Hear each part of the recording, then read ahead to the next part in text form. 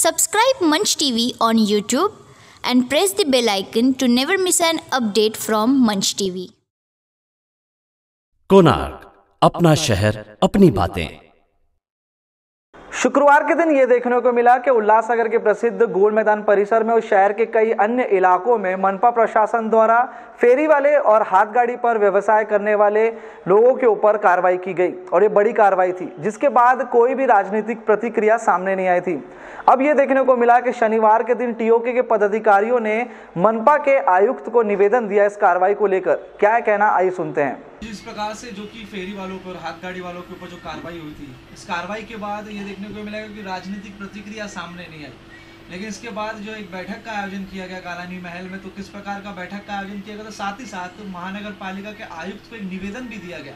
तो जानना चाहेंगे पूरा क्या मामला बैठक का आयोजन नहीं, देखो, जनता के ऊपर जब अनधिकृत तरीके से जीसीबी लगा के जो तोड़ू कार्रवाई की तो वहाँ की जनता, वहाँ के हॉकर्स लोग कुमार एलानी के पास गए। कुमार एलानी के पास उनको न्याय नहीं मिला तो उन लोग कालानी परिवार के पास, कालानी महल आए और वहाँ पे उन्होंने गुहार लगाई कि हमारी मदद करो, हमारे साथ अन्याय हो रहा है। तो ओमी कालानी जी के आदेश पे मैंने एक निवेदन लेटर बनाया। मैंने सोचा कि कमिश्नर साहब को हम इंटीमेशन देवे कि इस तरह की गलत तरीके से, जो तरीके में ये आता ही नहीं है कि हाथ गाड़ी तोड़ी जाए, इनके ऊपर अगर आप लोग ज़्यादा से ज़्यादा जब्त कर सकते हो, पावती फाड़ सकते हो लेकिन जिस तरह जीसीपी लगा के इस एक एक जगह पे एकत्र खड़ा करके गाड़ी जो एक, एक, जो अत्याचार किया इन्होंने तो मैं तो चाहता हूँ कि सरकार कानून की तरफ़ से इनके ऊपर एक गुनाह भी दाखिल किया जाए क्योंकि ये गैरकानूनी तरीके से इन्होंने एक दहशत निर्माण करने का काम किया है जनता के सामने। तो हमने कमिश्नर साहब जी को लेटर दिया लेकिन कमिश्नर नहीं मिले तो वहाँ पे हमें मदन सोंडे जी उपायुक्त मिले। उनसे मेरी चर्चा हुई और सलाह किया उन्होंने आश्वासन दिया कि अभी ये कार्रवाई हम नहीं करेंगे। और आने वाले मंगल या बुधवार को हम कमिश्नर जी के साथ बैठ के एक बैठक करके इसका कोई ना कोई रास्ता निकालेंगे। साथ ही यदि इस पर किसी भी प्रकार की इंसाफ फेरी वालों को नहीं मिला तो आगे क्या प्रतिक्रिया रहेगी? देखिए अगर कमिश्नर जी ने मेरा तो ऐसा अनुमान है कि कमिश्नर जी कोई ना कोई रास्ता निकालेंगे।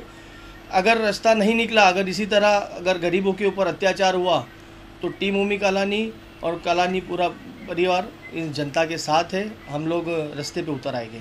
अभी की परिस्थिति वहाँ पर क्या है? देखिए, अभी की परिस्थिति ऐसी है कि बेचारे गरीब हॉकर्सों को हटा के बड़े बड़े पैसे वालों की वहाँ पे फोर व्हीलर्स खड़ी है। तो क्या इस तरह की तोड़ू जेसीबी कार्रवाई क्या इस कार वालों के ऊपर होगी क्या जिनकी कार यहाँ पे अवैध तरीके से पार्किंग की गई है? इनमें दम नहीं है, क्योंकि ये पैसे वालों के पास फेस नहीं कर सकते। गरीब लोग अत्याचार सह के, रोएँगे, बिलकेंगे, लेकिन ये गरीब अगर ये कार के ऊपर अगर इनमें दम है तो जीसीपी की कार्रवाई करके दिखाए मुझे। फिर पता चलेगा कि इनके ऊपर क्या कार्रवाई होती है। कोनार्क अपना शहर अपनी बातें। Subscribe Manch TV on YouTube and press the bell icon to never miss an update from Manch TV